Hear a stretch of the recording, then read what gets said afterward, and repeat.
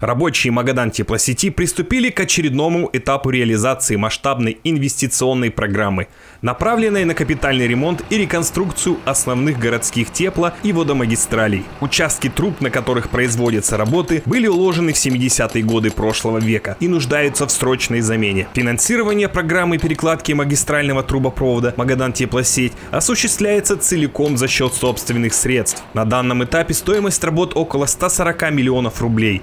Общая же цена инвестиционной программы Магадан теплосети полмиллиарда. Это продолжение э, магистрального трубопровода в 2016 году, то, что мы по советской делали. В 2019 году по правонабережной. Мы идем теперь на соединение этих двух реконструированных участков. В этом году и следующем э, мы соединимся. По улице Советской этим летом будет заменено порядка 270 метров магистральных труб. Теперь трубы не будут лежать в земле, так как устанавливается проходной канал. Также увеличивается диаметр трубопровода для повышения пропускной способности магистрали. Это благоприятно скажется на качестве и стабильности теплоснабжения трети областного центра. А, работа выполняется по графику, пока идет все без сбоев, все нормально.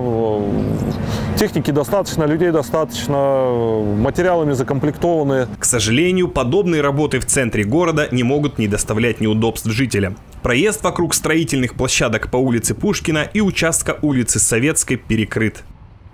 Хотелось бы обратиться к жителям города Магадана, чтобы, в общем-то, с пониманием относились а, к месту проведения работ, потому что автомобилисты особенно проявляют неуважение, и у нас улицы эти перекрыты, все равно под знаки едут под работающие механизмы, невзирая на людей, создают опасность для работников, которые здесь производят работу.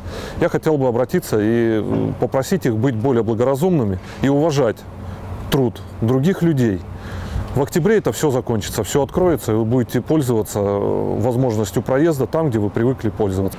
Сейчас движение автомобилей в районе производства работ не просто ограничено, оно запрещено. Имеют право перемещаться в этой зоне только специальные механизмы.